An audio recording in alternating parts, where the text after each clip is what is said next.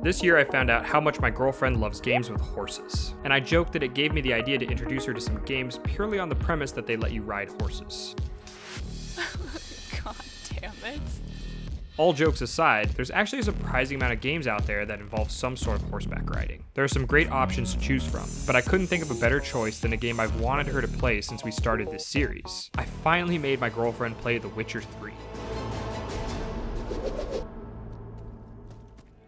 My girlfriend hasn't exactly been thorough when it comes to the games I've had her play, and for the most part, I don't complain. It's awesome enough that she sits down to play in the first place, but I'd be lying if I didn't say a little part of me hoped she'd eventually warm up to the idea of completionism in some way or another. I see any damaged shrines? I'll take care of them. Won't go out of my way, though. No promises. Deep down, I felt like if there was any game that could create that itch for her and get her to embrace side questing and optional content, it would be The Witcher. That being said, when she left White Orchard mostly unexplored after defeating the Griffin, she had me sitting there like, don't you want to look around a bit first? Bye, Vesemir! I'm going after that booty. Although it's easy to want to race to find all the answers to your questions, Can we cut to the chase? The Witcher is a game rich with story. Some questions before I start. There's plenty to find so long as you're willing to look for it. I'd compare her initial approach to playing The Witcher with someone discovering a new television series and trying to binge watch it all at once. It has such a strong opening, and even without playing the first two games, you want to know more about this world. Oh, I'm gonna like this game. The deeper you dig, the more little details you start to find. Tamara and Mislav. Thanks. I'm not gonna be able to remember any of these names. A lot of people experience side quest fatigue when playing The Witcher 3. She dealt with something more along the lines of side quest paralysis. During her time in White Orchard, she kept getting annoyed with all the little chores there were to do before fighting the Griffin. Must be out hunting. Oh, God. Every time she'd uncover a new side mission or place of power off the beaten path, it created more anxiety than intrigue, because as much as she wanted to see what the deal was, she also really wanted to see what came next in the story. This chick got attacked by the griffin because she was meeting a boy in the woods. So she was walking in the woods at night during a war with a live griffin around. She's got a lot of garlic back there. She does. She was explaining all this to me over dinner, and I remember just laughing and being like, hey, guess what? That's the game. No goat? Won't work. So now we go find a fucking goat. Will you help The me if sigh. I the goat back? Here, goat. Here, princess. Oh my god, she's so cute. Princess? Come on, damn it. Where are you going? Princess, get the fuck over here. Oh my god, princess? Ow. Part of what makes the game fun is getting lost in it and finding something you weren't looking for. Usually I commend her on playing these games at a much slower and steadier pace than I would, but ironically in The Witcher, the tortoise became the hare. People out of my way. God damn it, I am on a horse. I don't want to run you over, but I will. While playing The Witcher, there's a lot of reading and listening to be had. A huge chunk of your time in the game is spent inside of dialogue trees, and it's up to you to decide how vocal a Witcher you're going to be. One of the funny things she picked up on was how the dialogue options don't usually match what actually gets said. You'll select what you want him to say, and he'll translate it into Geralt for you. You black ones aren't so scary after all. Can even be nice if you want to. Don't get it He's sassy. Want you gone by the time I count to three. One. Is it just me, or is that none of your fucking business? Geralt, we have no healing oh. items. What made this funny was that Geralt tends to have a bit of an attitude during dialogue, and so a lot of the time she'd end up coming off way more aggressive than she meant to. I had forgotten how insolent you can be. That said, depending on your dialogue choices, Geralt can be as quiet or talkative as you make him. And boy, does she like to ask questions. Time to go. I get the feeling that Geralt's like a strong silent type, but I'm gonna Wait. make him really chatty. I mentioned before that one of the main reasons I picked Witcher was that it let you ride a horse.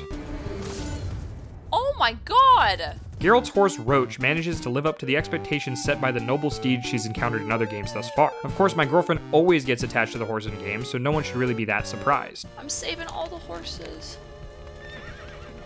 But it's a little ironic in The Witcher. It's my understanding that the reason Geralt names all his horses Roach is to not get too attached to them. You're no roach, but I bet we can be friends in time. You've got that all important quality every roach has to have You don't talk much. As you can probably imagine, that didn't really work as intended here.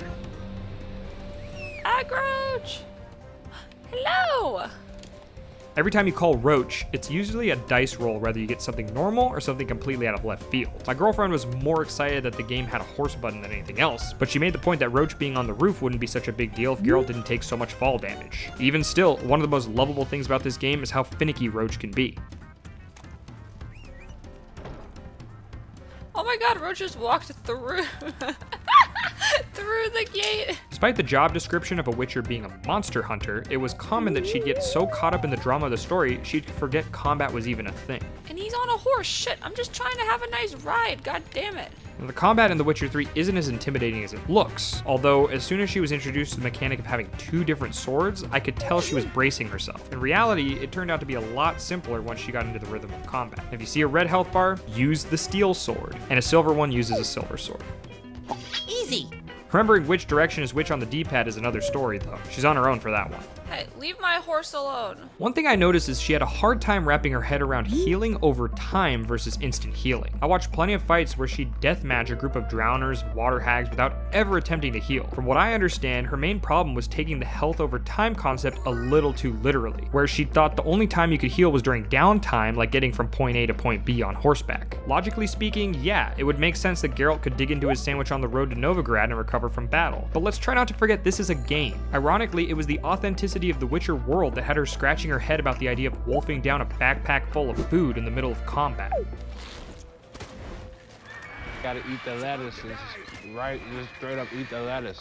It's true that the fighting in this game isn't quite like anything she's played before, but I was really surprised by how quickly things would start going south. Get hit once, not super necessary to heal. Get hit again, maybe now's a good time. Three times, okay, now you're starting to worry me a little. It started to feel like she was attempting a no-hit run of every encounter. Don't go giving us any ideas. Her reluctance to use signs was a bit of a head scratcher to me. Not necessarily because of her forgetting that she had them all the time. That's pretty much what we've come to expect from her. But what I thought was most bizarre was when using anything other than Igni, she'd switch to the sign of choice, use it, and then switch right back to Igni. Even in fights where she'd cast Yrden or Quen multiple times, she'd always switch to Igni in between casts. She wasn't even using Igni, so I don't really know what was going on.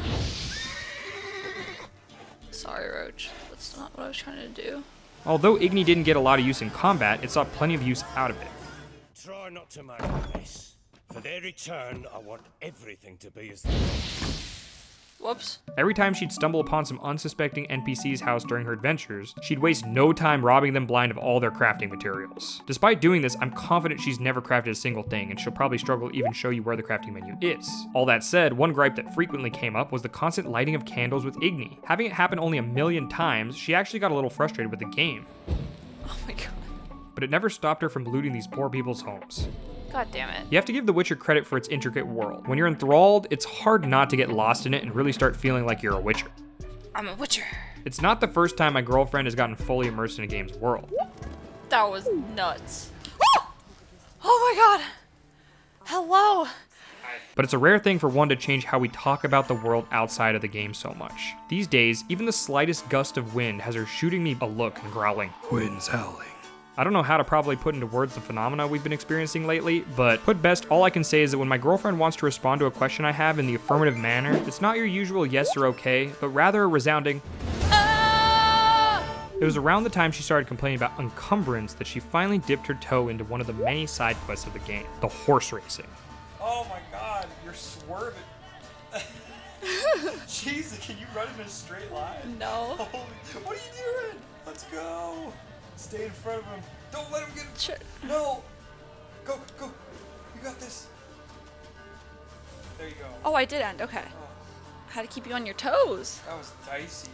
As caught up as she was in the Finding series storyline, she was just too fed up with constantly being overburdened. Although I explained to her about a thousand times, she's still annoyed that upgrading Roach's saddlebag somehow makes Geralt able to carry more stuff, even when Roach is nowhere in sight. Regardless of the game's logic, it opened the door up for something a lot more interesting than Princess Cirilla. Because after winning her new saddlebags in Crow's Perch, she finally played her first round of Gwent. Ever play Gwent? I made the mistake of believing that The Witcher 3 would be the selling point for tackling optional content in games. But really, I should have known it would be none other than The Witcher TCG. Once you get hooked on Gwent, it's hard to focus on anything else. Oh my god. Let's play Gwen.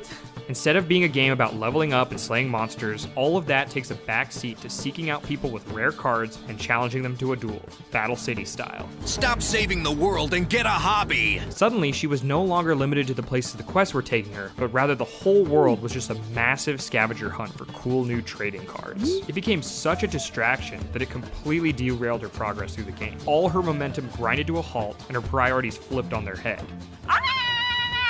At the time of writing this, she's not even halfway done with the game, and it's only slowing down as she unravels more subplots and side stories. Hell, she hasn't even figured out how to get to the Skellige Islands yet. Yeah, sailing my ass. She just teleported her ass to Skellige. As much as I wanted her to finish the game, I also don't want to rush her through it. The fact she's finally starting to crack her any percent shell and dip her toes into completionism is more than I can ask for. As of now, she's back in White Orchard trying to tie up all the loose ends she left behind at the beginning of her journey. It gives eight? Rest assured, we'll be visiting Witcher 3 again someday, but at this point in time, giving a forecast into when is just impossible. Her adventures with Geralt are far from done, but I really want to let her take her time with this one. It's hard to be patient, trust me, no one knows that better than me. But if we do this right, I'm sure it'll be a story you won't believe. But first, how about a round of Gwent?